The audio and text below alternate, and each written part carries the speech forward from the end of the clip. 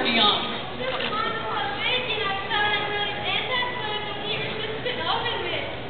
Wow, I love the tiny stitching.